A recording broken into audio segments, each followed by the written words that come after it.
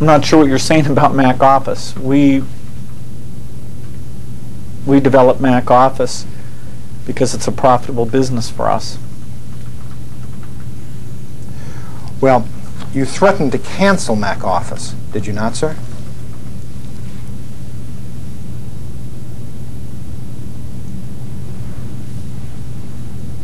No.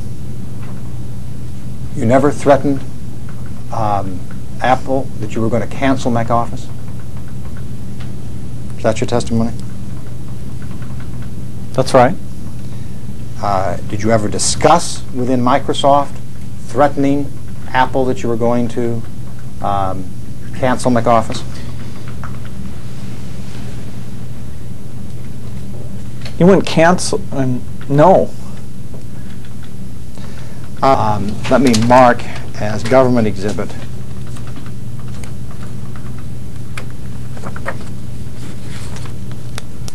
three six eight.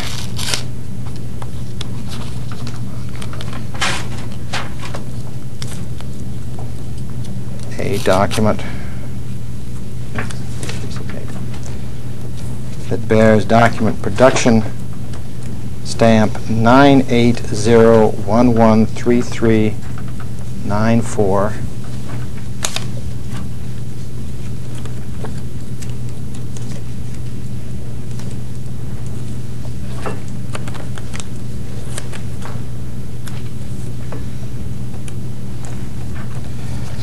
Through 9-7.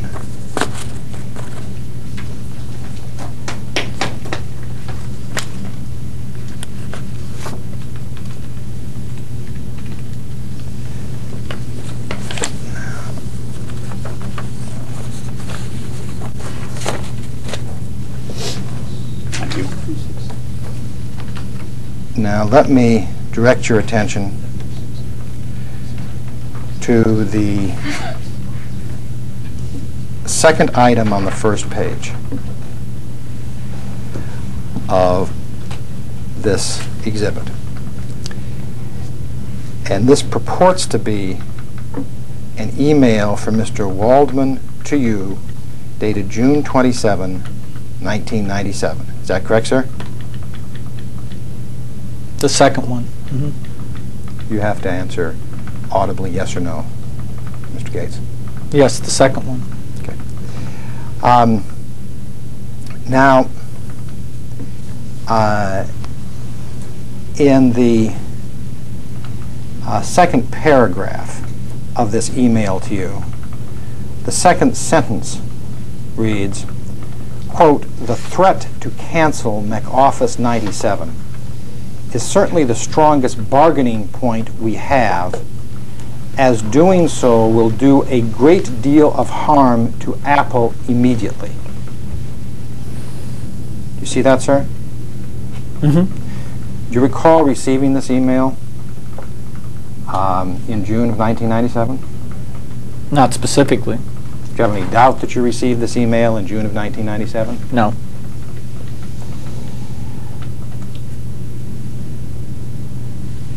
Do you know why Mr. Waldman wrote you in June of 1997 that the threat to cancel MacOffice 97 is certainly the strongest bargaining point we have, as doing so will do a great deal of harm to Apple immediately?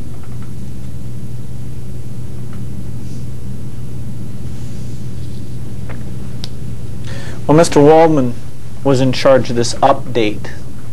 You know, the Mac Office product had been shipping for over a decade by now, and there was a financial question of whether to do this update.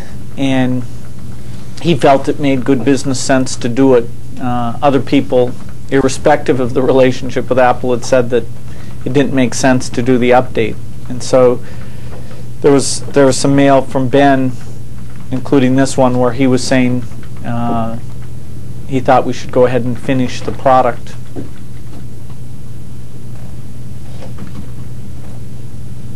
I'm not sure what he means by about the negotiations with Apple. I'm not sure what we were negotiate, negotiating with Apple at this point.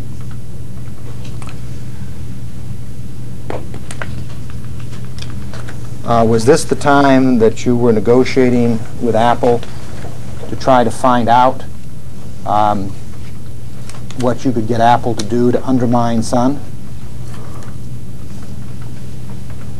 Well, the only email, the only thing you've shown me where that that term was used. Uh,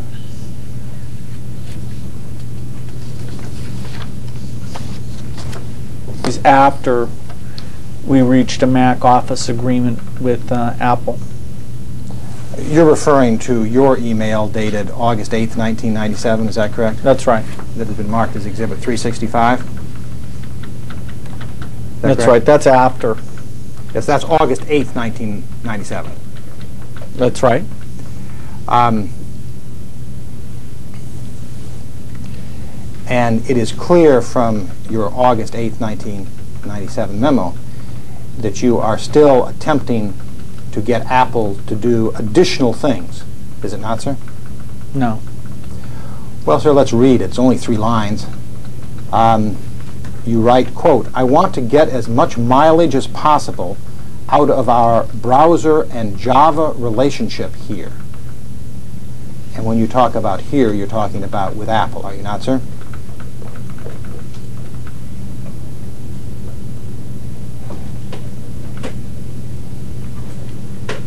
I'm not sure. Well, the subject of this is FW colon post agreement, correct, sir? Yeah, that's that's what makes me think this was probably post agreement. Post agreement with Apple, right? Yes. Okay. So the subject is post agreement with Apple. And the very first sentence says, I want to get as much mileage as possible out of our browser and Java relationship here. Second sentence says, in other words, a real advantage against Sun and Netscape. Third line says, who should AV be working with? Do we have a clear plan on what we want Apple to do to undermine Sun? Now, do you have any doubt that when you talk about I want to get as much mileage as possible out of our browser and Java relationship here, you're talking about Apple? That's what it appears. Okay. Um,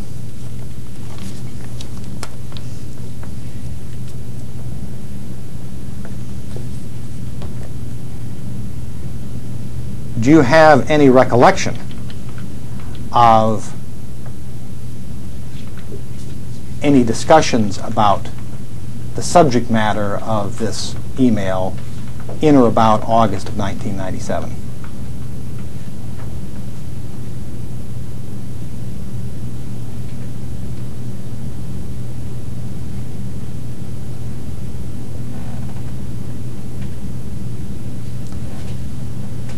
If the question is confusing, I'd be happy to rephrase it, Mr. Gates. Go ahead. Um, did you send this email? It appears I did. Did you discuss this email with anyone? I don't remember that. Um, let, let me go back to um, Exhibit 368.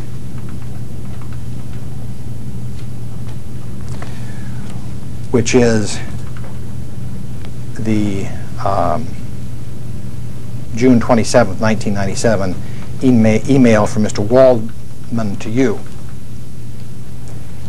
Uh, do you recall, and I know you said you don't recall receiving this email, but do you recall anyone describing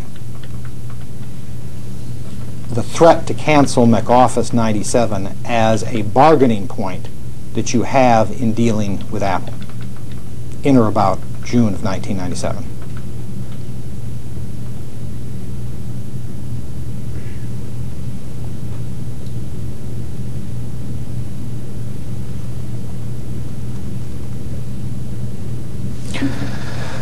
I remember going to a meeting where Paul Maritz took the position that we shouldn't do the update. And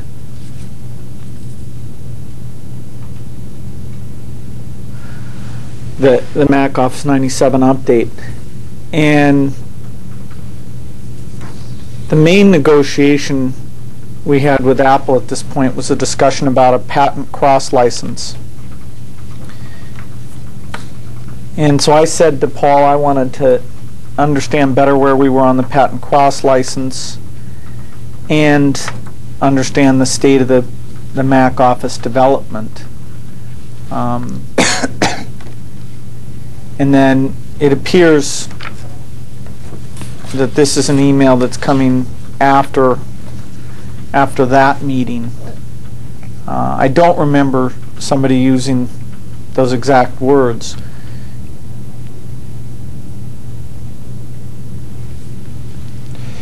Whether you remember somebody using the exact words that Mr. Waldman uses in his June 27, 1997 email to you, do you remember people telling you in substance that the threat to cancel Mac Office 97 was a strong bargaining point that you had against Apple and that canceling Mac Office 97 would do a great deal of harm to Apple immediately?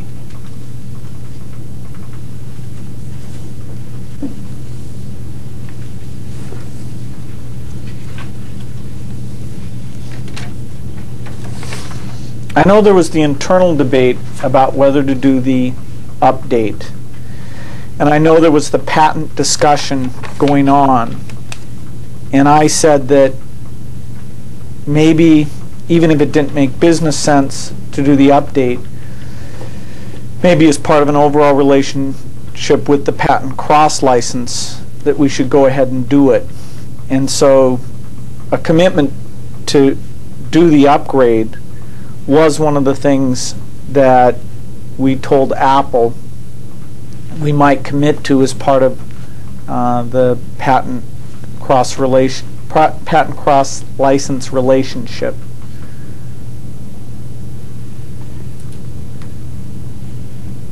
And did you believe in 1997 that canceling MacOffice 97 would do a great deal of harm to Apple?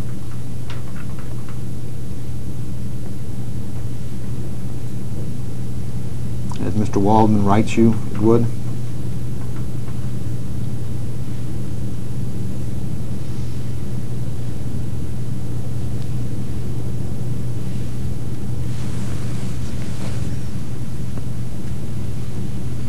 There was a question about whether to do the upgrade and whether it made business sense. I can't really say how much impact it would have on Apple of us doing the upgrade or not.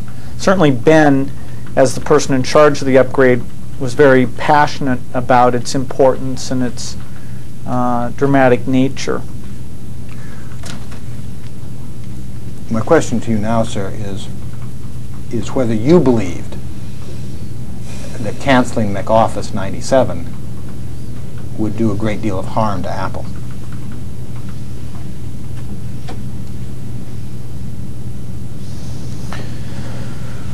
Well, I know that Apple would prefer that we have a more updated version of Mac Office. Uh, that that would be a positive thing for them, and so that's why it was part of the uh, negotiation relative to the patent cross license.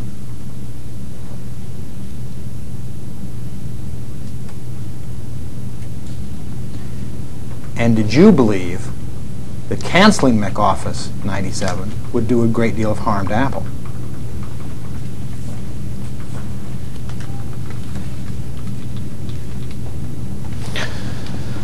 I, I told you I think it would be advent it'd be better for Apple to have everybody doing major upgrades like this.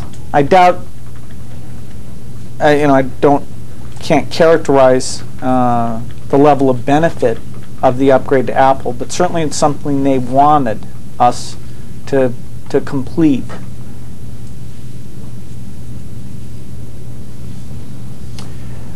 Um, the next sentence in Mr. Waldman's um, June 27, 1997 email to you begins, I also believe that Apple is taking this threat pretty seriously.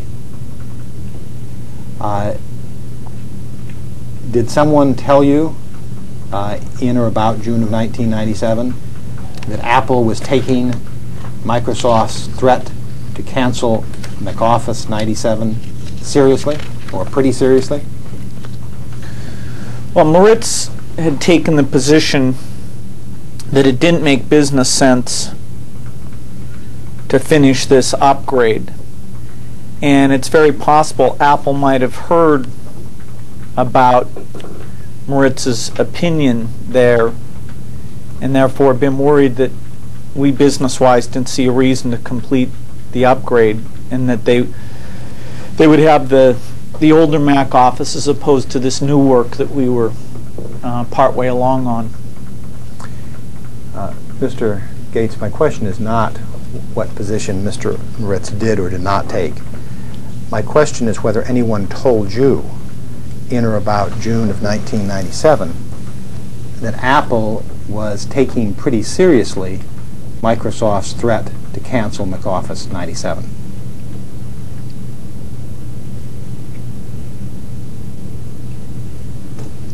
Apple may have known that senior executives at Microsoft, Maritz in particular, thought that it didn't make business sense to complete that upgrade. Mr. Gates, I'm not asking you what Apple may have known or may not have known. What I'm asking you is whether anybody told you in or about June of 1997 that Apple was taking pretty seriously Microsoft's threat to cancel MacOffice 97. Those particular words? Told you that in words or in substance?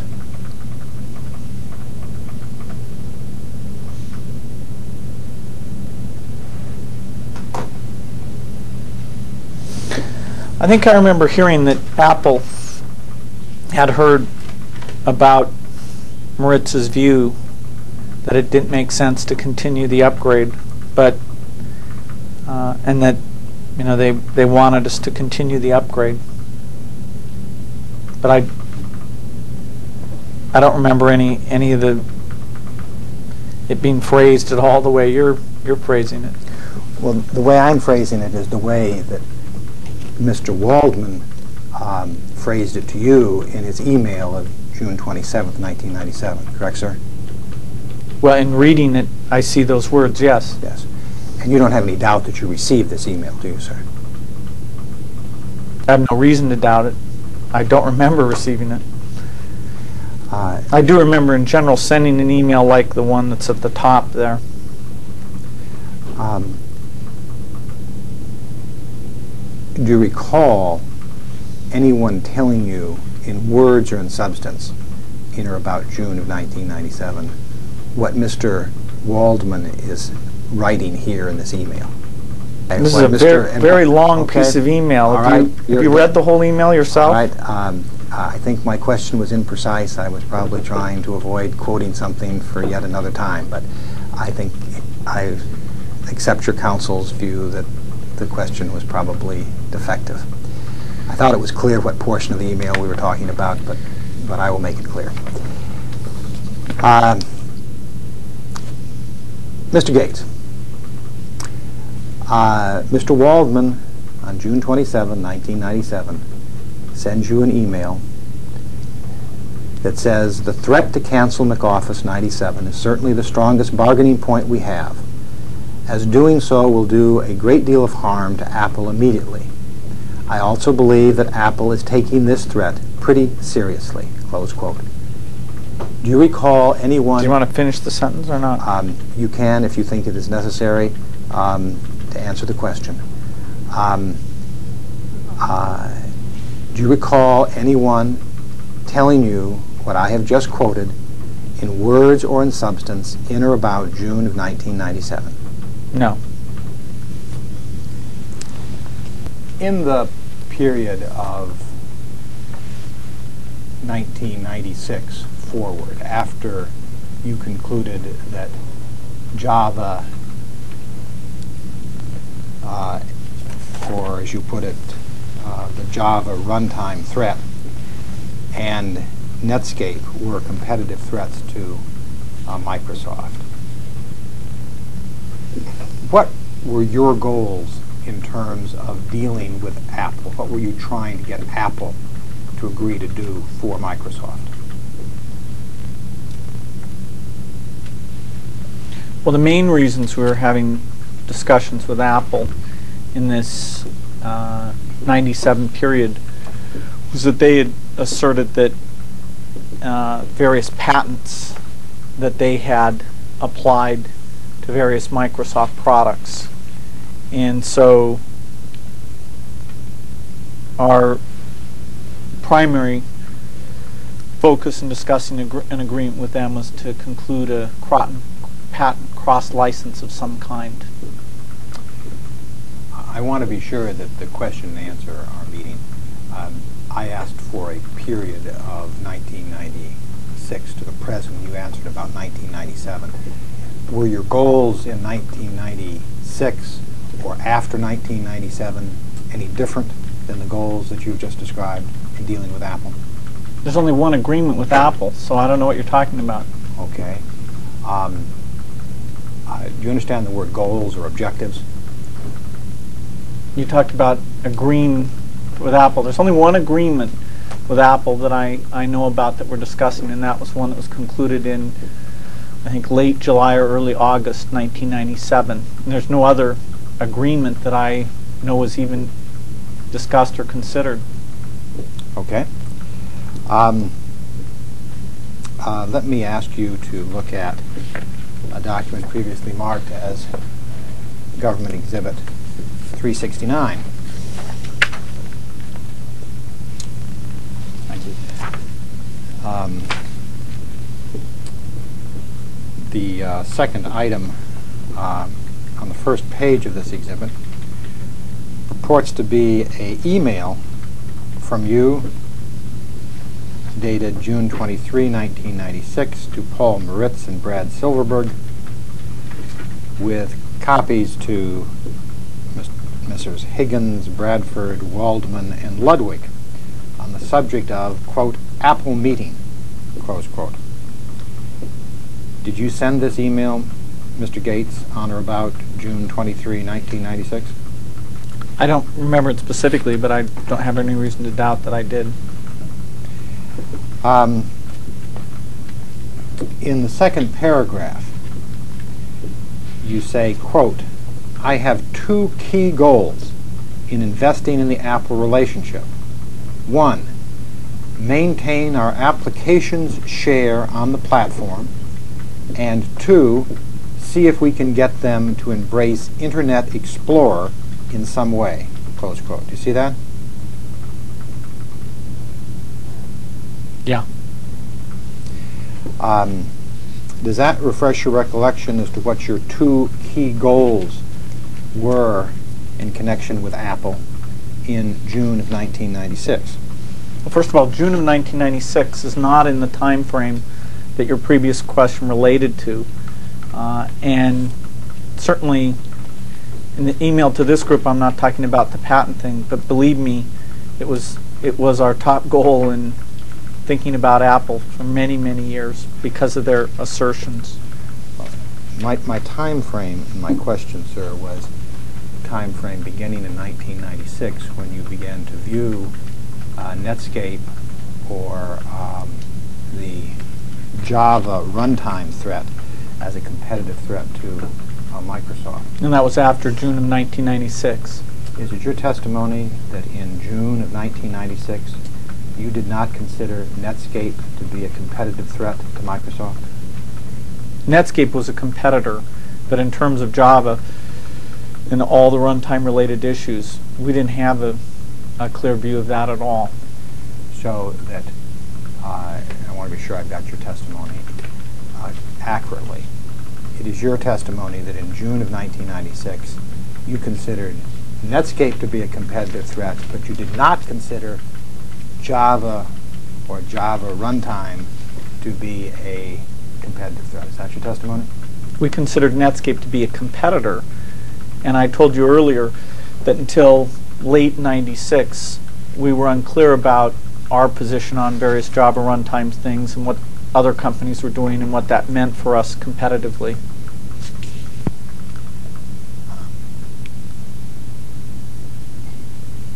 Do you agree that in June of 1996, the two key goals that you had in terms of the Apple relationship were, quote, one, maintain our applications share on the platform, and two, see if, if you could get Apple to embrace Internet Explorer in some way?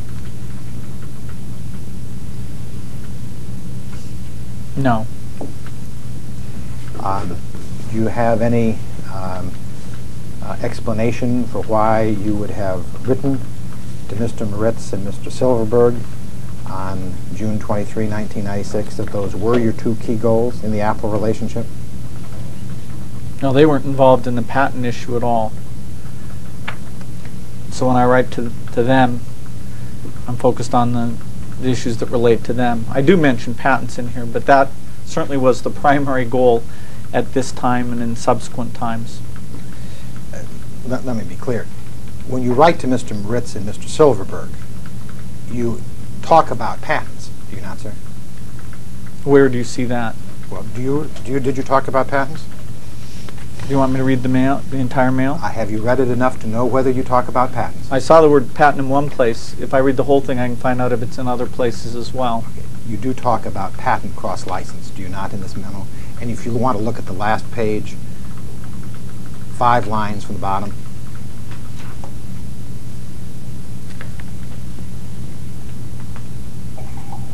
Yeah, they weren't involved in the, the patent issues at all. So I, it looks like in this mail I just mentioned that in a, a summary part. But it was our, our top goal in, in our discussions with Apple.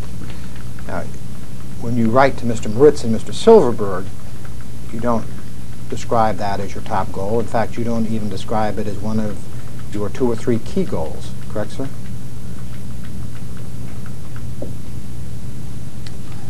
This piece of email doesn't talk about the patent goal as the top goal. It's most likely that's because the people copied on the mail don't have a thing to do with it, and I wouldn't distract them with it. I want to be sure I have your testimony correct. In June of 1996, what was Paul Maritz's uh, title? He was involved in product development activities. He was involved in product development activities. Uh, what was his title? I don't know. Systems? Systems? Mm-hmm. Uh, did he have a title that went with that? Senior Vice President Systems? Senior Vice President Systems. I see. Um, did Mr. Silverberg uh, have a, a, position in June of 1996? He worked for Mr. Maritz. Did he have a title? I don't know what his title was at the time. He would have been an officer of some kind. An officer of some kind. So you're writing a memo to uh, Paul Maritz, a senior vice president, and Brad Silverberg, an officer of some kind, and you're sending copies to four other people on the subject of the Apple meeting. Uh, and you say, I have two key goals in investing in the Apple relationship. That's quite distinct than any goals I might have for a deal with Apple. It says, I have two key goals in investing in the Apple relationship. Not, I have two key goals for a deal with Apple. Well, sir, um, at the bottom you say what you propose in terms of a deal, and you talk about what Apple will get out of the deal and what Microsoft will get out of the deal. Correct, sir? Do you want me to read you the email? I mean, I, I don't know anything more than just what it says in the email. I'm glad to read it to you. Well, sir, does it say at the bottom of the email that you are proposing um, something with Apple and you are identifying what Apple would get under your proposed deal and what Microsoft would get under your proposed deal? Yeah, that's the bottom of the email. In fact, the bottom of the email talking about a proposed Apple-Microsoft deal, you say, quote, the deal would look like this. And then you've got a column Apple gets and a column Microsoft gets and a column both gets. Right, sir? I'm reading that. Okay? Now, uh, in this email of a page or a page and a half, um, in which you are proposing this deal, you describe your two key goals as maintaining Microsoft's applications share on the platform and getting Apple to embrace Internet Explorer. Now that's that's wrong. That's wrong, okay? The Let's word deal and the word relationship are not the same word. um, This says I have two key goals in investing in the Apple relationship. This down here is a an agreement which I thought we could reach with Apple. And is it your testimony um, uh, here today under oath that your two key goals in investing in the Apple relationship, which you mentioned at the second paragraph of this uh, email, is different than your two key goals in the proposed deal that you describe five paragraphs later? I don't see anything in here about the key goals, two key goals in the deal. I've told you that I'm certain that my primary goal in any deal was the patent cross license. Mr. Gates, my, my question is whether it is your testimony today here under oath that when you talk about your two key goals in investing in the Apple relationship in the second paragraph of this email, that is different than what your key goals were in the deal that you propose five paragraphs later. That's right. Investing in the relationship is different than the deal. Um, now, you don't tell Mr. Maritz or Mr. Silverberg that your goals for investing in the Apple relationship are different than your goals in the proposed deal, do you, sir?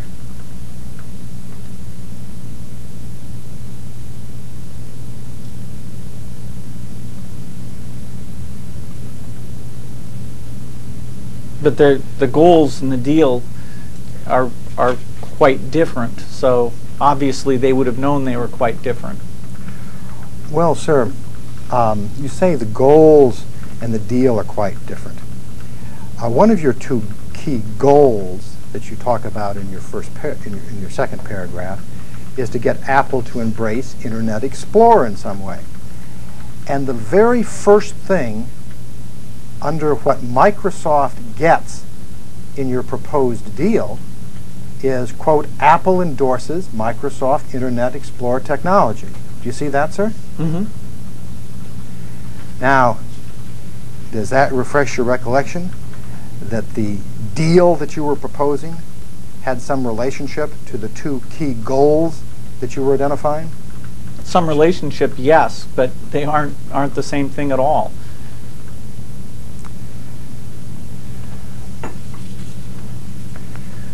All right, sir.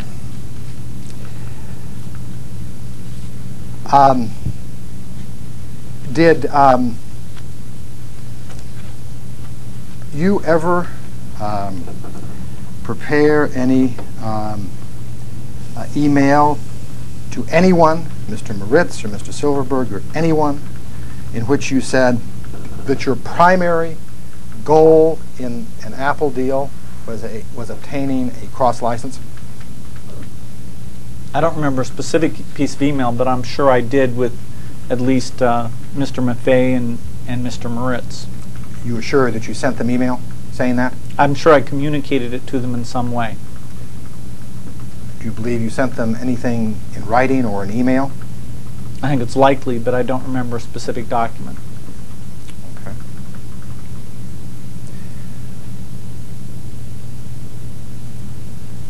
You certainly haven't um, seen any such um, a document in, in being prepared for your deposition. Is that fair? I didn't say anything about what may or may not exist at this point. I said that I'm sure I communicated to Mr. Mr. Maritz and Mr. Maffei that our primary goal in doing the deal with Apple was the patent cross-license. And I had thought, and perhaps I I misunderstood, I had thought that you had said that you believed that you'd actually communicated that not merely orally, but by email or in writing. I think it's likely that I communicated it in email. Um, And if you'd communicated an email, would that email have been preserved? Not necessarily. A lot of these emails were preserved, because we now have copies of them, right? That's right. Um, uh, How did Microsoft decide what emails would be preserved and what emails would not be preserved? Individuals get email into their mailbox and, and they decide. Um, Do you um, uh, have any uh, explanation as to why people would have decided to keep the email that described your two key goals um, in the Apple relationship um, uh, as being what they are stated to be here, and not have preserved your email that you say you sent, saying that you had a primary goal of a cross-license? Objection. You're Lack of foundation. Hold it. I'll restate the question to just be absolutely certain that um, uh, it's, it's a fair question, Mr. Mr. Gates. If it were the case that neither your counsel nor myself, after diligent search, can find an email that says your primary goal in dealing with Apple was a patent cross license, do you have any explanation as to why that email that you say you think exists would not have been saved, whereas the email that describes one of your two key goals as getting Apple to embrace Internet Explorer was preserved. Objection. Well, when you say dealing with Apple, there were a lot of things we were dealing with Apple on. I've told you in terms of the deal, the deal that I was involved in discussing in '96 and with under another management Apple in '97.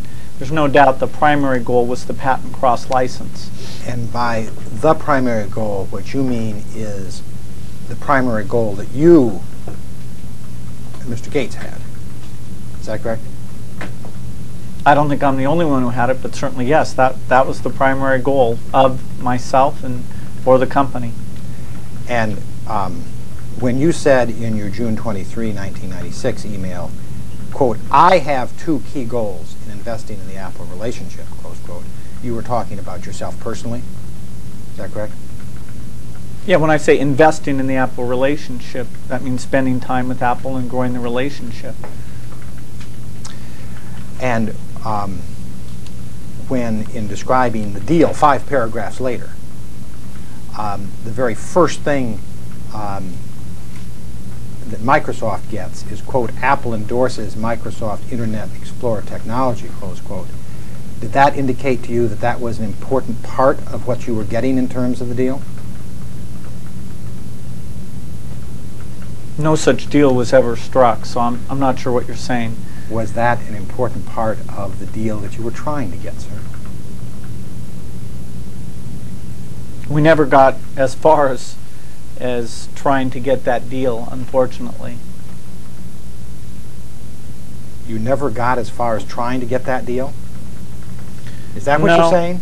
No, well, in this time frame, Gil Amelio's total focus was on his new OS strategy, and so what I outlined here, we never, never got them to consider.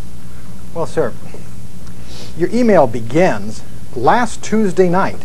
I went down to address the top Apple executives. Correct, sir? That's right.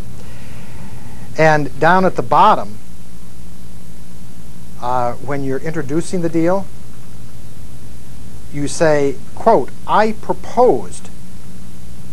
Now, you're referring to what you proposed to the Apple top executives, are you not, sir? Yes? Okay.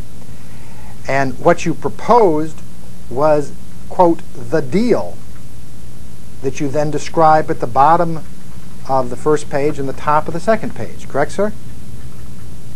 That's right. And that was a deal that you proposed the Tuesday night before June 23, 1996, to what you describe as the top Apple executives, correct, sir? I put forward some of those points. Well, you put them forward and you describe them as proposing a deal, correct, sir? That's how I describe it here, yes. All right, sir. Um, now, you said that the deal that you were talking about uh, never got done. Uh, did you ever get Apple to endorse Microsoft Internet Explorer technology? Did, you're, you're trying to just read part of that? I'm actually, what I'm doing is I'm asking a question right now, sir. I'm asking whether in 1996 or otherwise, at any time, did you get Apple to endorse Microsoft Internet Explorer technology? Well, you can get a copy of the agreement we reached with Apple and decide if in reading that you think it, it meets that criteria or not. Uh, sir, I'm asking you as the Chief Executive Officer of Microsoft. I'm asking you whether uh, you We did believe not- that you we did achieved not- that objective. We did not get some exclusive endorsement. We did get some, there's some part of the deal that has to do with uh, Internet Explorer technology. Do you know what that part of the deal is? Not really. It has something to do with they'll at least ship it uh, along with uh, other other browsers. Uh, does the deal prohibit them from shipping uh, Netscape's browser without also shipping Internet Explorer? I'd have to look at the deal to understand.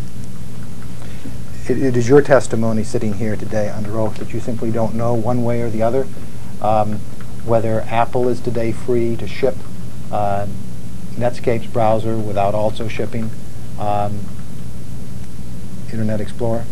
That's right. Um, when you identify things as key goals, do you typically tend to follow up and see to what extent those goals have been achieved?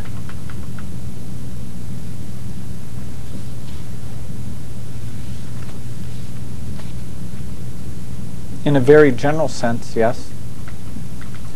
Um, did you ever um, follow up to see whether one of the two key goals that you identify um, in your 1996 email to Mr. Maritz and Mr. Silverberg and others um, of getting Apple to embrace internet technology in some way had been achieved? Well, certainly, what I said here, I have two goals in investing in the app relationship. That those weren't achieved because the investments I made were with Gil Amelio, who was fired from Apple very soon thereafter. Was there something about Mr. Amelio getting fired that um, changed what your goals were for um, the Apple relationship? I said I have two key goals in investing in the Apple relationship. The form that investment took was spending time with Gil Amelio. That turned out to be wasted time because he was fired from Apple rather uh, abruptly uh, within about oh, eight months of this. When he was fired, did that change what goals you had uh, for the Apple relationship, Mr. Gates? It was basically a complete restart because we had to understand what the new management, what they were going to do with Apple and where they were going. Did your goals change? Goals for what? For The investing in the relationship. relationship?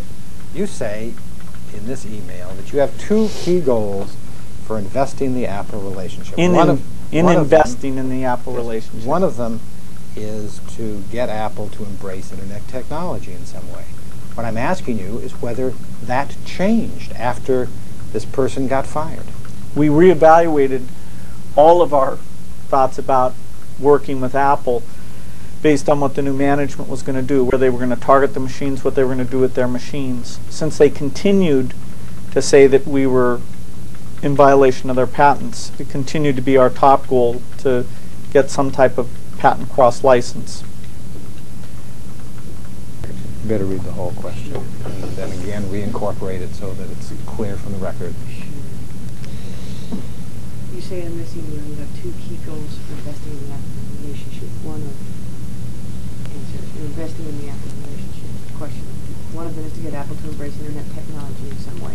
What I'm asking you is whether that changed after this person got fired. You keep either intentionally or unintentionally trying to confuse my goals for investing in the relationship with the goals we had overall for various dealings with Apple.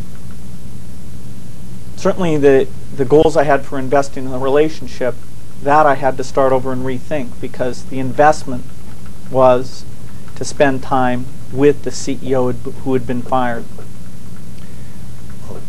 Mr. Gates, neither in this email nor in any other um, uh, document that either of us is aware of, uh, do you make that distinction that you're making now, correct? Do you understand the question I'm asking? This document does not say that my goals for dealing with, does not state my goals for dealing with Apple up here. It states my goals in investing in the Apple relationship. So there's a clear distinction right there in that document. Mr. Uh, Mr. Gates, this document deals with a proposed deal that you made to top Apple executives. That's correct? only one part of what's in the document. Right. There's a part where it talks about, you, you never mentioned, but the first goal is maintain our application share on the platform. That's something I'm doing in investing in the Apple relationship. Actually, And that, that's not related to the deal that's given, the proposed deal that's discussed below in the email. So those are clearly two separate things. Related but separate. uh, what I think I've done is I think I have mentioned the first goal a number of times.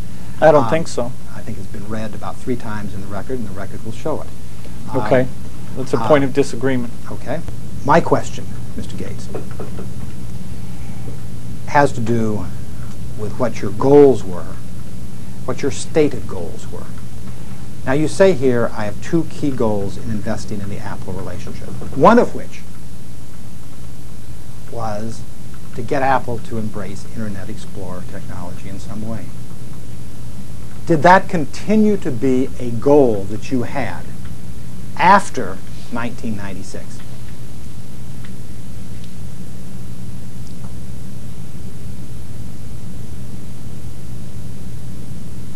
It wasn't a goal in investing in the Apple relationship in terms, in the sense I meant it here.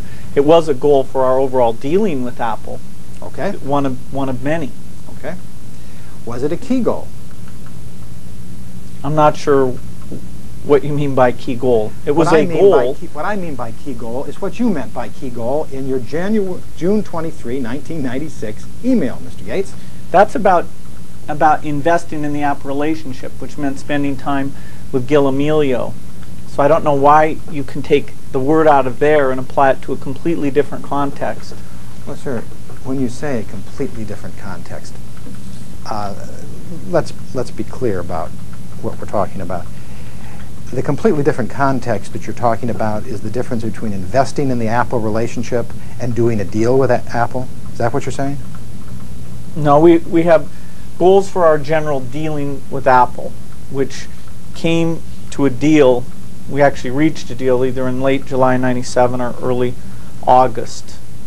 Um, but there's a separate thing of what was that deal, what were we able to achieve in it, what were we trying to achieve when we were negotiating with the previous management a deal, and what I'm trying to do in terms of spending my time investing in the Apple relationship.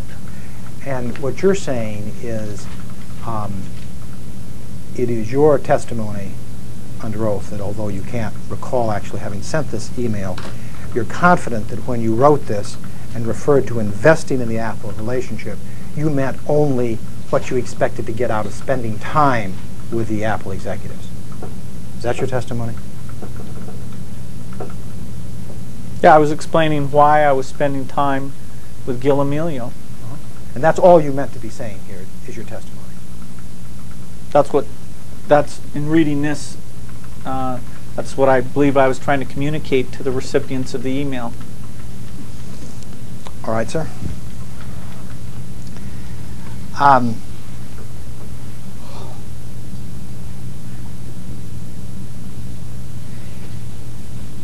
uh, let me ask you to um, look at a document uh, previously marked as Government Exhibit 370.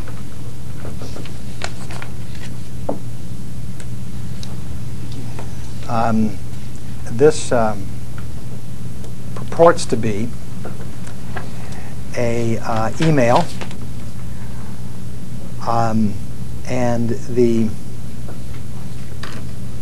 uh, second item on the email is an email from John Ludwig to Don Bradford, dated August 21, 1997, and the subject is Conversations with Bill G. last night. And the Bill G referred to there is you, correct, sir? Yes. Um, and it begins I was at the exec staff meeting last night. And can you explain for the record what the exec staff meeting was? He's referring to a regular get-together four times a year of the Microsoft executive staff. And um, he goes on to say that there were three interesting exchanges with Bill and the whole group about Apple. Do you see that? I see it. And number one is, quote, Bill's top priority is for us to get the browser in the October OS release from Apple. We should do whatever it takes to make this happen. If we are getting shut out, we should escalate to Bill. You should make sure that we are engaging deeply with Apple on this one and resolving any and all issues, close quote.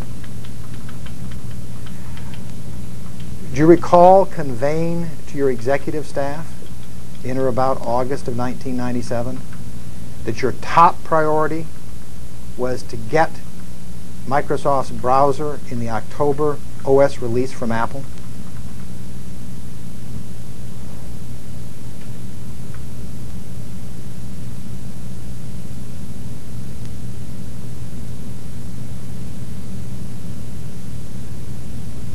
No, I don't recall that.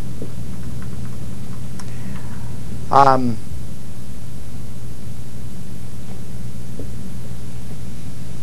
uh, the top email, um, which is from Don Bradford uh, to a number of people, dated August 21, 1997, and is also on the subject of, quote, conversations with Bill G. last night, close quote, says that Mr. Bradford and someone else, Mohan Thomas, quote, will take the lead on working out the Apple bundle deal, close quote. Do you see that? Yes. Did you instruct your executive staff in or about August of 1997 to work out a, quote, Apple bundle deal, close quote?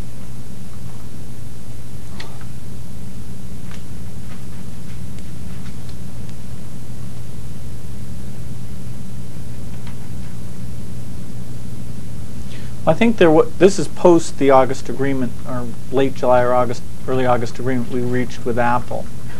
And I think there were some circumstances under which they would in- include or bundle IE with some of their shipments. Uh, I think that's what that's referring to.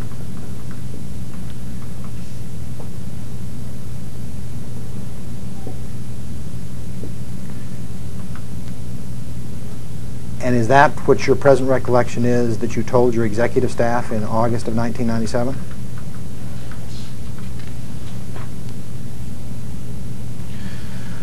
Well, I don't recall specifically what I said to the executive staff about Apple, but it appears Ludwig took out of that that he was supposed to make sure that whatever outs that Apple had under the previous agreement for not shipping our technology, that we uh, uh, avoided those being a problem that prevented them from shipping our technology.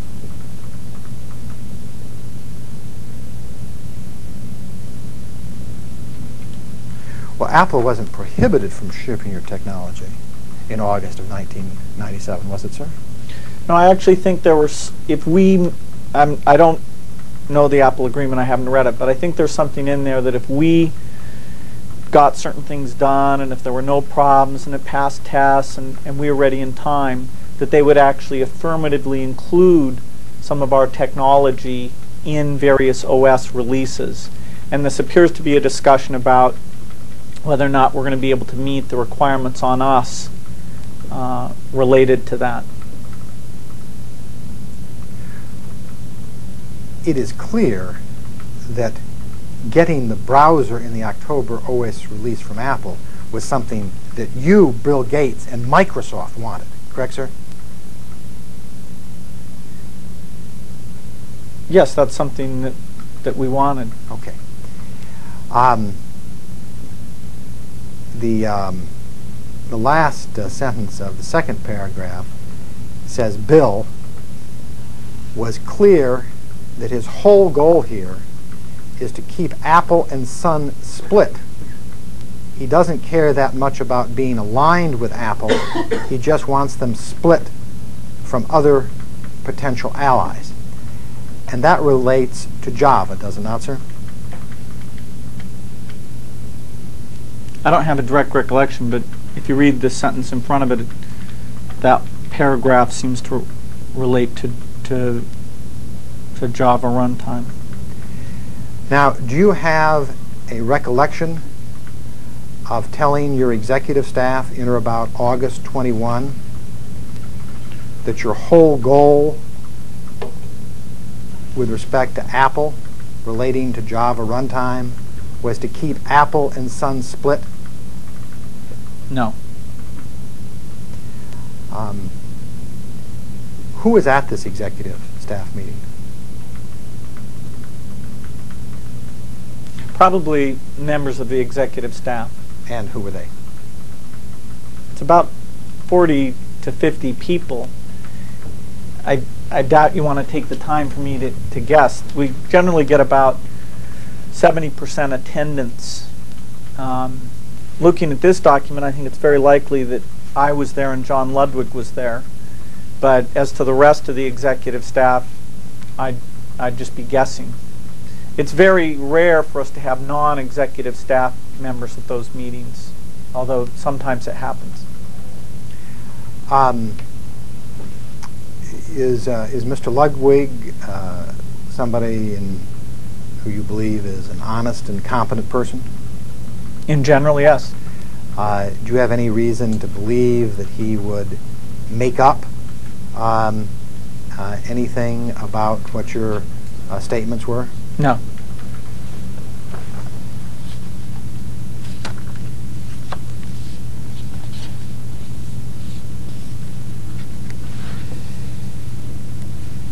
Let me ask you to um,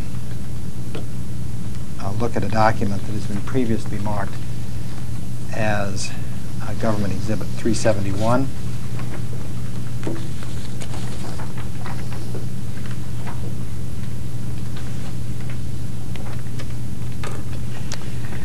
Um,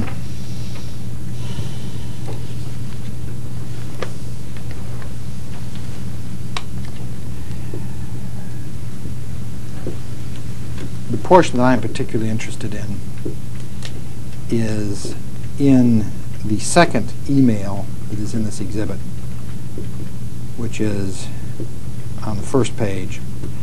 And it is an email from you to Paul Maritz and others dated January 22, 1998.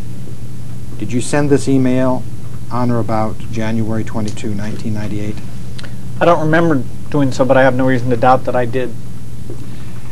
Um, the next to last sentence says, quote, I think we can gain a lot of share with IE on Mac if we do some modest things, close quote.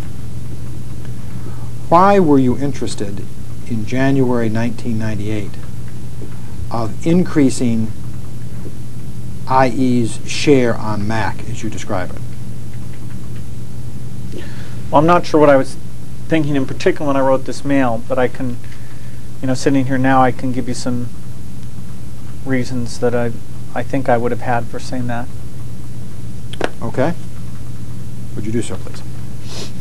Well, the the use of IE on Macintosh was beneficial to us in terms of our um, the APIs we had there and the uh, content HTML extensions that we had there. And when you go to people who do content, being able to say to them that those extensions are popular not only with PC users but Mac users makes it easier to convince the content person to take unique advantage of the innovations that we'd made in HTML as well as some of the in innovations we'd made in how the browser was structured. Um, I want to be sure I understand your answer. Um, you mentioned uh, APIs and you mentioned the HTML extensions. Are those two different things? Yes, sir. Okay. And am I correct that the broader distribution of the APIs is something that makes writing to those APIs more attractive to uh, independent software writers? If users are choosing to use the the software that those APIs are present in, it makes it easier uh, to convince software vendors to write to those APIs. Let me ask the question this way. Why were you interested in having Apple um, uh, distribute your APIs? Objection. Well, the key issue wasn't about distribution at all. The key issue was usage share uh, by Mac users of the various browsers that were available on the Macintosh. Why were you interested in having um, the usage share of Mac users um, of your APIs increase? You, that question is nonsensical. Okay. Um, uh, you were asked earlier why you wanted to increase your share of IE on Mac. Do you recall that? Yes. And am I correct that you said that there were two reasons? One dealt with APIs and one dealt with HTML extensions. Yeah, I've thought of a third reason since then, but that's right. Okay. There was also, you might not remember. Now there might be three or four. uh, well, um, uh, wh- why don't you tell me the one that you're thinking of, uh, and we'll see if it's the same one Mr. Heiner's thinking of. Well, I, I've talked earlier about having traffic out of IE is always of, of value. Um, so those are the three reasons that you can think of now. Is that correct? Those are three reasons that are among the good reasons that raising usage share of IE on Macintosh was a positive thing for Microsoft. I'd like to know the other reasons that you can think of now, if there are other reasons.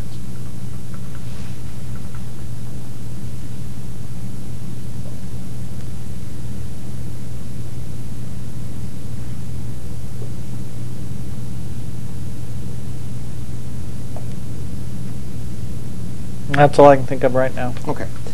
Um, why does increasing um, IE's share on Mac help you with respect to APIs? Because the Mac IE had APIs. And how does having that help Microsoft? Because those APIs are in common uh, with some Windows APIs. And why does that help Microsoft?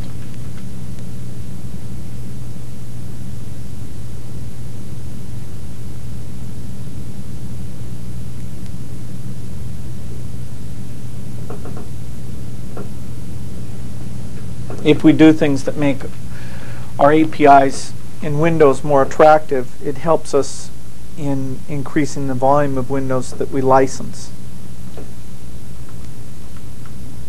Are you saying that increasing um, IE share on Mac will help increase the number of Windows that you license? Yeah, I went I went through the chain of logic that explains that to you. I, I don't know if you misunderstood some part of it. All I'm trying to do is get your answers on the record because if I begin to tell you what I think about your answers, we'll be here all day. Um, uh, so am I correct that it is your testimony here that increasing your share of IE on Mac will increase the um, uh, distribution of Windows? I don't know what you mean by distribution of Windows. The usage of Windows. No, the the number of copies that we license. Will that be increased? Through the indirect factors that I explained to you, yes, there's a positive effect there. So that by increasing your share of IE on Mac, you would expect to increase the number of copies of Windows that you would license. Yeah, increasing our usage share over time, we think help, will help us to increase the number of copies Windows we'll license. Um, does increasing IE's share on Mac make it more likely that content providers will want to use? IE? I don't know what you mean by content providers using know? IE. You don't know what content, content providers, providers use servers, they don't use clients. Do you, do you know what content providers are? Yes. Um, give me an example of a content provider. Um, uh, Disney? Disney. Disney would be a content provider. Um, uh, Disney is an important content provider, correct, sir? Now you're going to have to give me some context. With- Without me giving you some context, you can't answer the question as to whether Disney is an important content provider. Is that your testimony under oath? Important in what sense? Important in the everyday, common usage sense of what important means.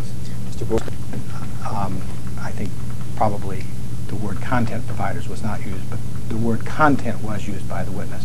And I think it was in, No, in, could- in the context, in the context of answering If you're, if you're actually interested, it's the use IE where you seem to be confused about what content providers do. There's no question about what content provider means.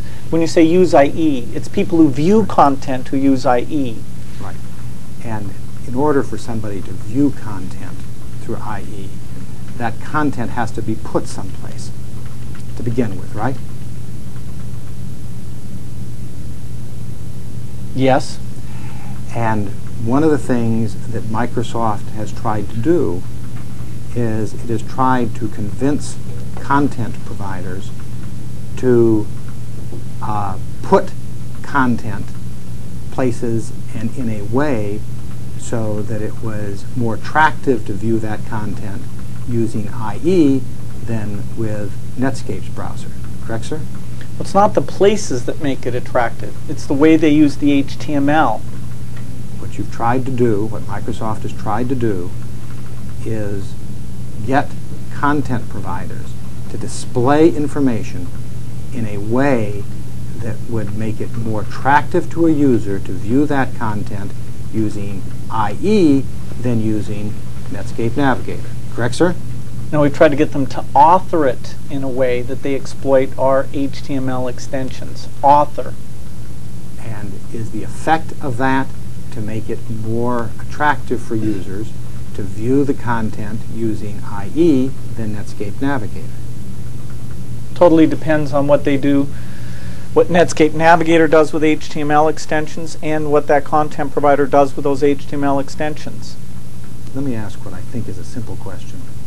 Um, has Microsoft made an effort to get content providers to agree to display information in a way that makes that information more attractive when viewed by the then existing Internet Explorer than if viewed by the then existing Netscape browser.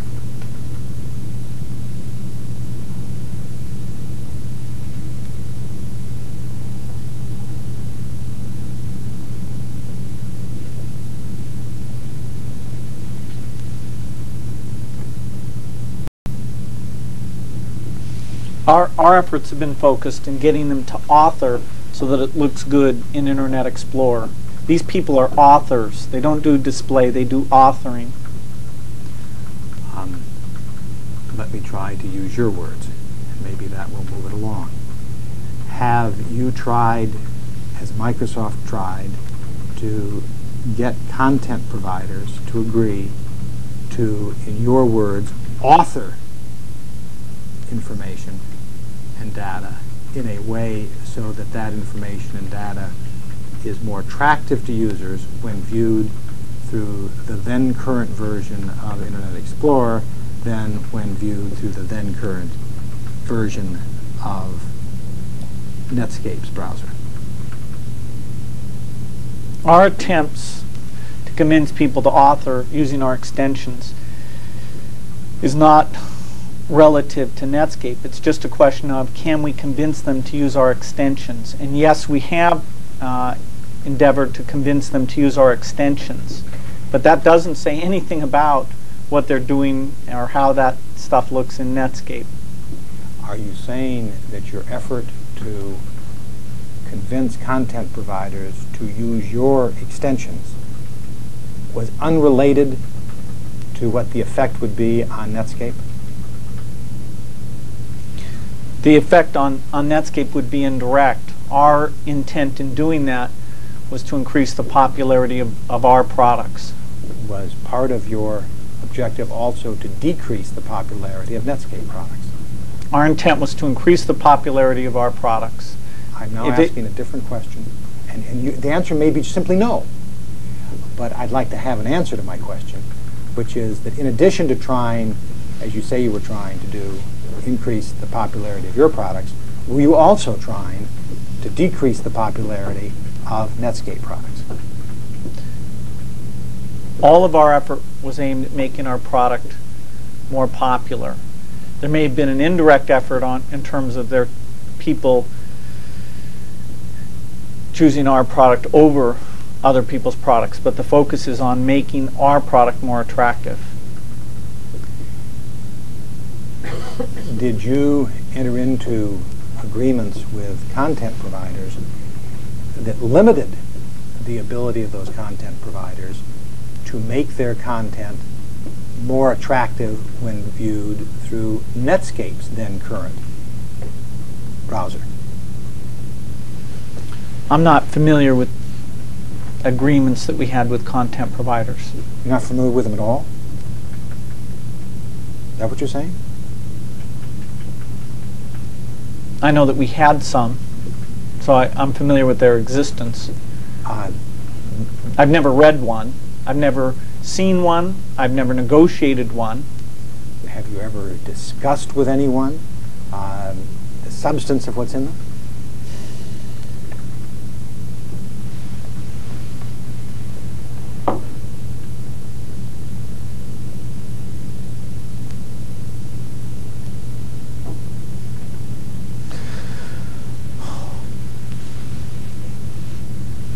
What I know about them is that they uh, they're related to the efforts to uh, convince people to take advantage of extensions we've done uh, that make those extensions worthwhile to end users. My question now is whether you've ever discussed the substance of what's in those um, agreements with anyone, and if you have, I'll To the degree I. I just described them, yes. Beyond that, no. Um, With whom did you have those discussions? Well, I would have been in, in meetings with various people. Uh, you know, Brad Chase, Paul Maritz, Brad Silverberg in a certain period of time. And um, did they ever tell you uh, that these agreements with content providers limited what the content providers could do with Netscape? I don't think so. Uh, Do you know, as you sit here now, whe- whether any of the agreements that you entered into, Microsoft entered into with content providers over the last three years, limited what those content providers could do with Netscape? that when I was going to testify in Washington, D.C. in the Senate, uh, that Netscape or some someone uh, agreements in an effort to create some controversy around around them.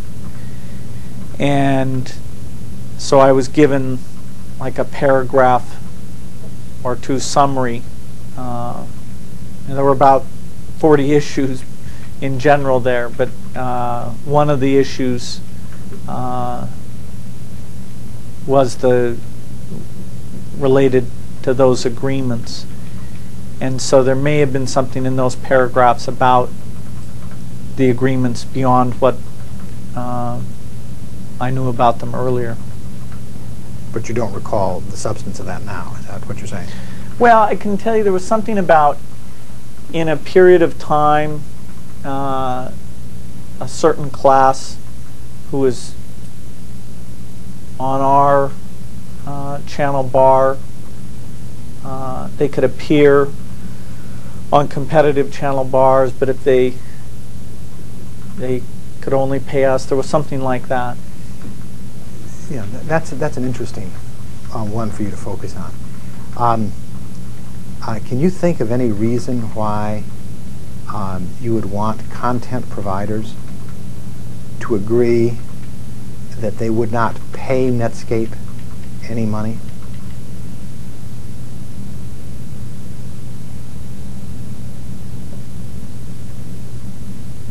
I know that we had hopes that the channel bar would get some usage, and we wanted to uh,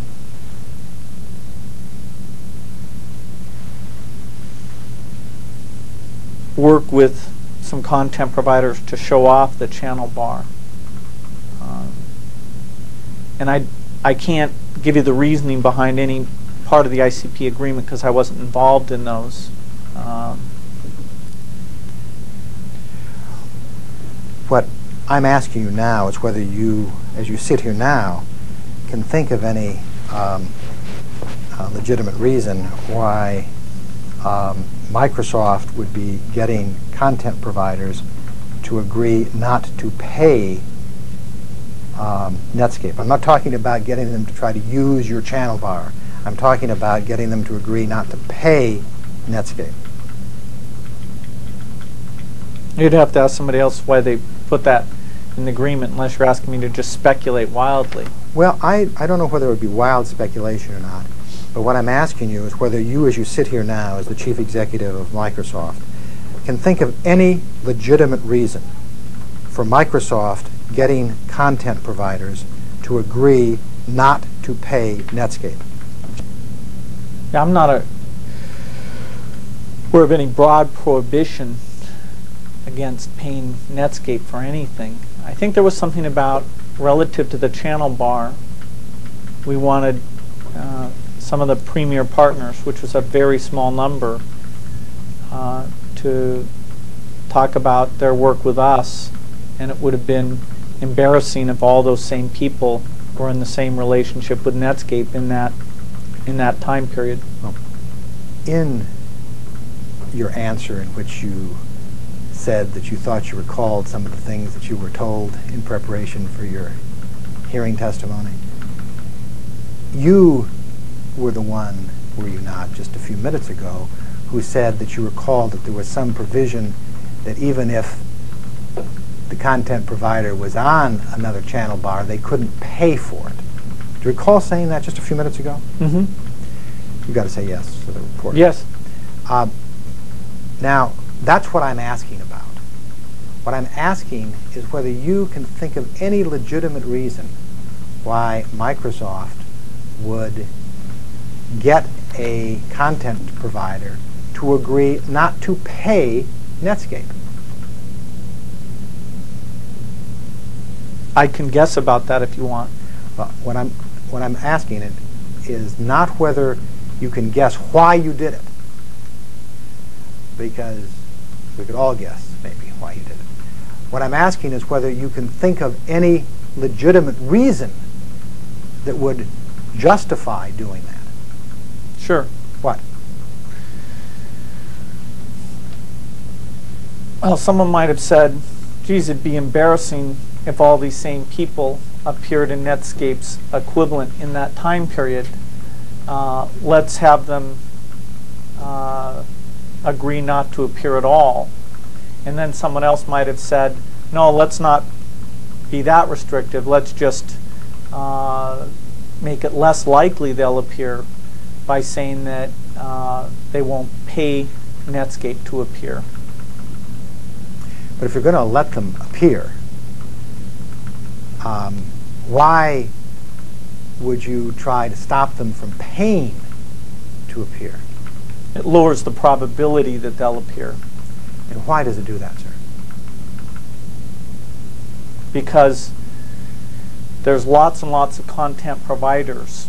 And so if you in the these the channel bar these gold or premier or platinum I forget the terminology slots there's only visually uh, at least in the way we did it room for about uh, five or six of those and so if you have a contract that says that they won't take money from Netscape to appear in their channel bar given the broad universe of content providers that are out there, it's very likely that Netscape will choose to pick people who do pay them to be in their channel bar, and therefore you've lowered the probability that all of the people who appear in yours also appear in Netscape's. So that precluding people from paying was an indirect way of trying to make sure that they didn't appear on Netscape's channel bar. Is that right? Now, now you've changed things. I've told you I don't know. I don't know why the provision was put in there. You asked me if I could think of any set of, of reasoning behind it, in which I did, and that, then you changed and asked me a question about the history, which again I can't talk to you about the history. And I don't mean to be uh, asking just about the history. What I mean to be asking is whether you, as the chief executive officer of Microsoft, and you testified yesterday about some practices that you thought were consistent and some practices that you thought were inconsistent with company policy. And um, uh, is it consistent with company policy? Let me approach it this way. To get um, uh, companies like content providers to agree not to pay competitors? Is that consistent with company policy if that was done? Objection.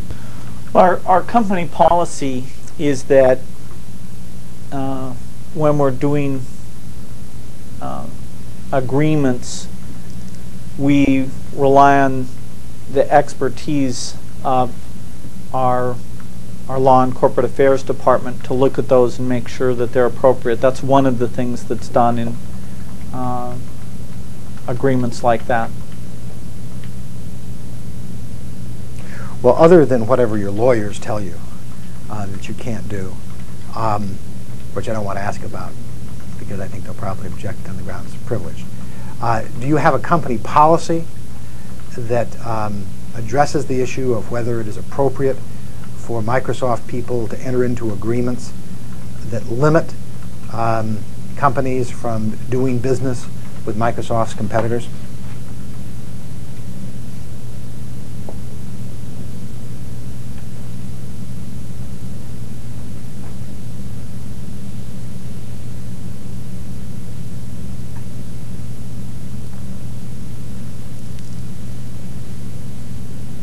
There's no general policy that, that covers that area. As I said, the, the very competent staff we have is involved in reviewing agreements we reach. Um,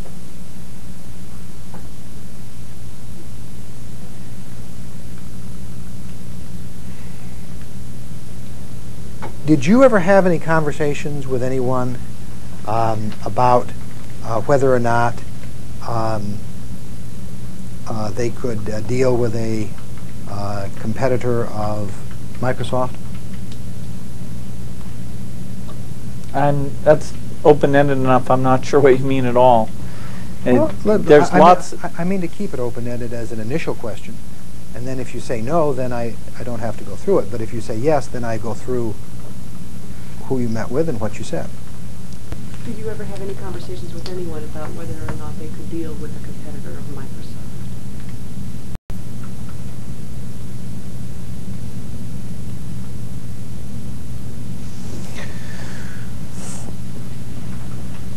I'd say the, the answer uh, is probably yes, because If the For answer is yes, example, then I want to no, ask. I want to make. I think I should give an example so you understand uh, how I've interpreted your question. Could you give me a specific example? Yes, That is, uh, somebody that IBM is a competitor of ours, Mhm. and people have said to me, uh, "Should we fly out and meet with IBM on this topic?" And I've said, in some cases, yes, we should, and in some cases, no, we shouldn't. So that's a case where I was giving people advice on whether they should deal with a competitor of Microsoft. Were these people within um, Microsoft?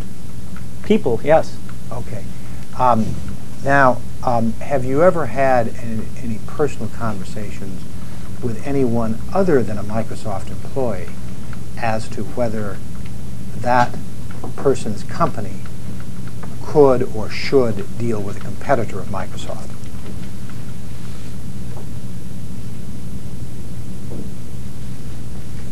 Well, in terms of should, I might have said to somebody that No, no, no, I- I'm not asking what you might have said. What I'm asking is what you remember doing. Okay, I- I'm, I'm trying to move this along. I'm trying to stay as concrete as I can, and I'm not asking you to speculate about what you might have done. Okay, I'm I know- you what I know remember doing. I know concrete cases where I've told customers that I think picking our product as opposed to a competitor's product is in their best interest, and so that they should pick our product. And in that sense, yes. Have you told people um, that if they pick your product, they can't use a competitor's product? If there's a technical issue about how things won't work together, uh, possibly, but uh, otherwise, no. Um, do you know a Mr. Poole who um, works at Intuit? No, You do not. no. I think you're confused. Uh, you may be right. Um, uh, but all I need to do is get your um, uh, your testimony down, and then people can judge for themselves. Um, uh, so it is your testimony that you do not know uh, anyone um, uh, uh, who works at Intuit, um, whose name Mr. Poole. Do you know somebody at Microsoft who uh, deals with Intuit who is um, named Mr. Poole? Yes, it's quite distinct. Uh, yes. Um, the distinction is actually at the heart of what I'm going at, sir. Um, what is Mr. Poole's first name? Will. That's at least what he goes by. Right. And um, uh, what is Mr. Will Poole's uh, title? I have no idea. Um, you have dealt directly and personally with Mr. Poole, have you not, sir? Not until very recently. Um, when was the first time that you dealt uh, directly and personally with Mr. Poole? Well, if you mean was he ever on an email that I went back and forth on, uh, that probably goes back, the, that could be any time in the last few years. In terms of actually being in a meeting that Will was in, I think that's quite recent. When? Which? Both. I said in terms of email, that would be the last couple of years. How can I, how can I be more concrete than I that? don't know. I I- answered the question. Can you be more concrete than the last couple of years? No. Okay. Now, when with respect to the meeting? I don't think I was in a meeting that he was in until maybe two or three months ago. Um, did you ever have a discussion with Mr. Poole, either orally or through an email, in which you told Mr. Poole what the conditions were pursuant to which Microsoft would give Intuit access to a position on the active desktop?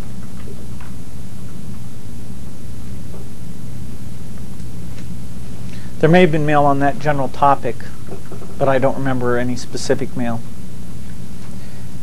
Did you have any discussions with Mr. Poole apart from email? No. Did you tell Mr. Poole in words or in substance that Intuit could get access to a position on the active desktop only if it would agree not to deal with Netscape?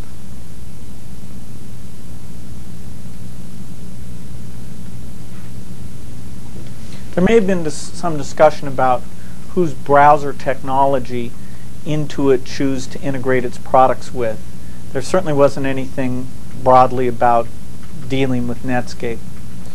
Well, let me try to be as precise as I can. Um, did you tell Mr. Poole in words or in substance that if Intuit wanted to have access to a position on the active desktop, Intuit would have to agree to use Microsoft's browser technology and not use Netscape's browser technology?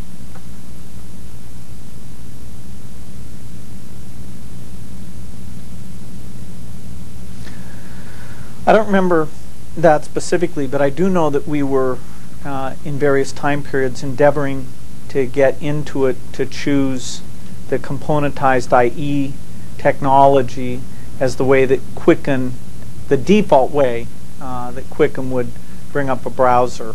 In fact, they've always supported both browsers uh, at all times. Um, my question to you is whether you told Mr. Poole, either orally or through email, that in order for Intuit to get access to a position on the active desktop, Intuit would have to agree not to use the Netscape browser technology. Did you tell Mr. Poole that orally or through email?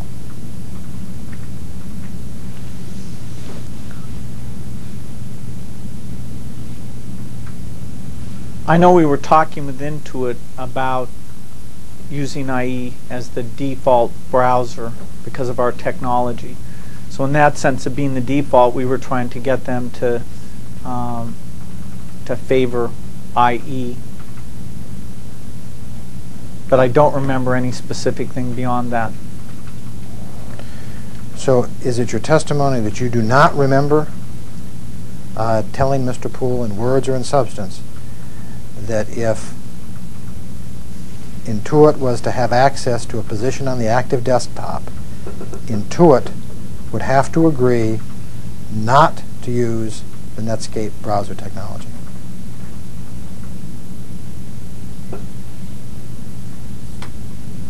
Intuit has supported the Netscape browser technology at all times, and All I'm I never thought there was any chance of avoiding them supporting the Netscape browser technology. I did think there was a chance that we would become the default, and I was hoping we could convince them that it made sense for them to make us the default. default browser. That's right. Um, I understand that that's what you said, and I want, and I do want to explore that. But I, I, I want to first be clear that it is your testimony that you never told, or at least you don't recall ever telling Mr. Poole in words or in substance, that in order to get access to a position on the active desktop, Intuit would have to agree not to deal with Netscape or not to use the Netscape browser technology. I don't remember using those exact words. How about In terms of substance, my desire to get us to be the default did imply a favorable position for us relative to other browsers. Um, is it fair to say that um, your position with respect to wanting to become the default browser for Intuit meant that the Microsoft browser would have a more favorable position, but it would not preclude Intuit from dealing with Netscape? Is that correct? That's right. Okay. Now, I want to follow up on that issue. But before I do, I want to be absolutely certain that I have your testimony now clear. And that is, leaving aside the issue of becoming the default browser, did you ever tell Mr. Poole in words or in substance that in order for Intuit to have access to a position on the active desktop, Intuit would have to agree not to deal with Netscape or not to use the Netscape browser technology. Did you ever communicate that to Mr. Poole in words or in substance? You can't leave out the idea of the default browser. It's nonsensical to say, did you do that, but leaving out this, the, the notion of the default browser. The substance of us being the default browser is that that's a favorable position for our browser. So what you've just asked me is nonsensical. Does making Internet Explorer the default browser preclude Intuit from dealing with Netscape? In a specific way, yes. In what way? Uh, any deal that relates to them being the default browser. Other than other than a deal that involves them becoming the default browser, does it preclude Intuit from dealing with Netscape? Not necessarily. Um, so that Intuit could make Internet Explorer its default browser, but still deal with Netscape with respect to Netscape's browser. Correct? Yeah, Intuit at all times has supported the Netscape browser. Now,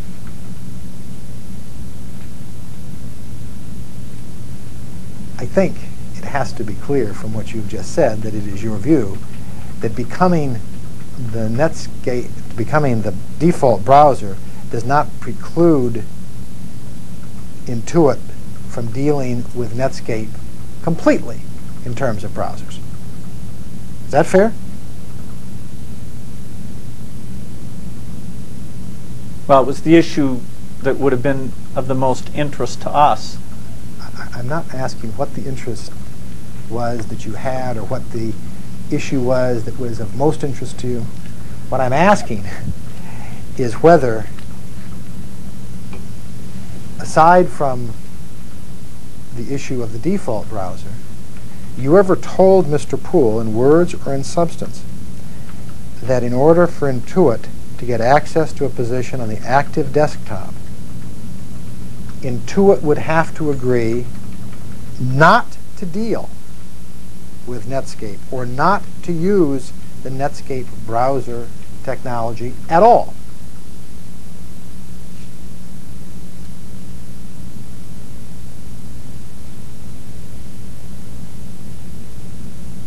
The question doesn't make sense to me. The, if you say that somebody's not the default, you're certainly affecting how they deal with you on the browser. Could you explain what you mean by that?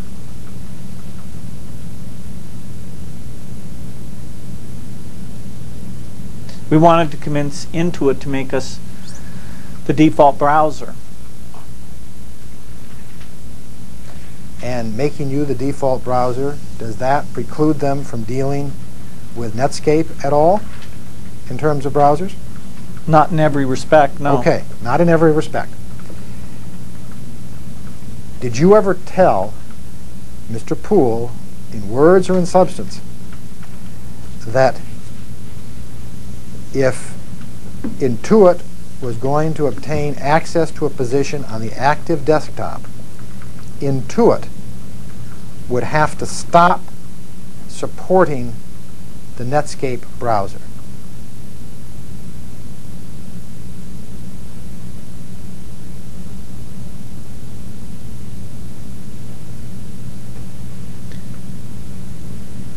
Well, supporting can mean a lot of different things. I mean I know. you- I never. I never said it. expected at any time that they would not support the Netscape browser in terms of running with it, working with it, supporting it, and all those things.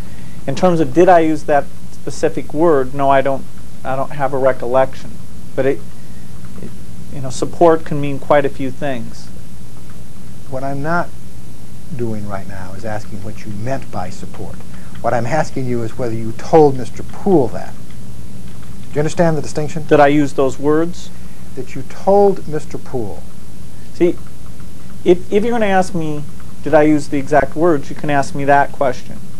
Or if you're going to ask me if I said something like that, that's okay. But then I have to actually understand what the words, what you mean by the words. Okay, let's, let, let's take it um, uh, one step at a time.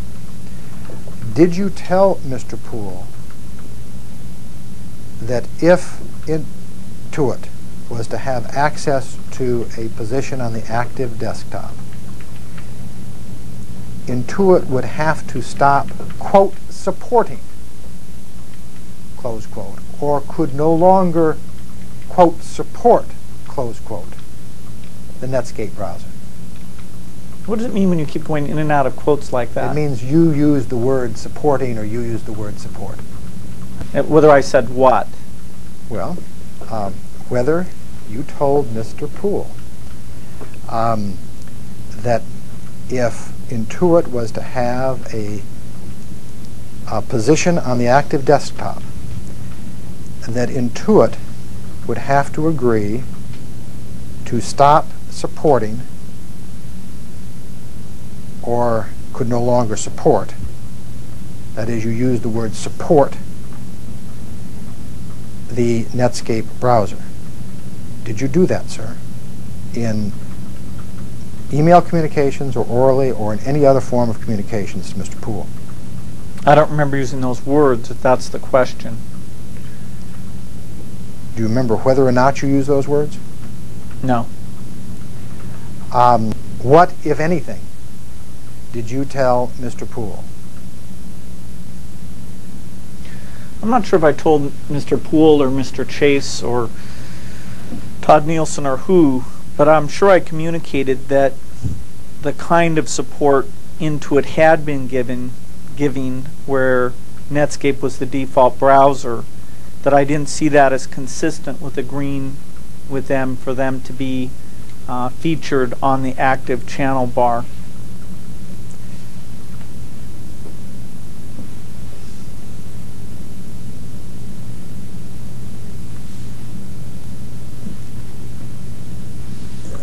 I think that goes to what you were saying before, which is that you wanted Microsoft's browser to become the default browser. That's right. Okay, now I'm, what I'm trying to do is ask whether you went beyond that in talking to Mr. Poole. Did you say to Mr. Poole that if Intuit is going to get access to a position on the active desktop, Intuit had to do something more than simply make IE the default browser.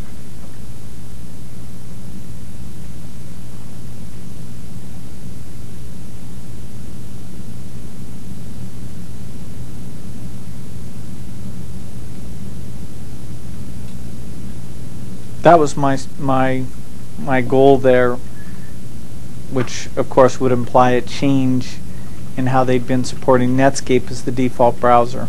Right. I understand that you said you wanted IE to be the default browser, and that inevitably means that Netscapes can't be the default browser because you can only have one default browser, right? Right. Now, what I'm now asking is, did you go beyond that and say to Mr. Poole that if Intuit was going to get access to a position on the active desktop, Intuit would have to do something more than simply make IE the default browser? I don't think so. Did you ever say that to Mr. Chase or to anyone else? I don't think so. Or communicate it in email or some other communication? I included that. So, no, I don't think so. I thought you might have included it, but I wasn't sure, so I, I wanted to be clear.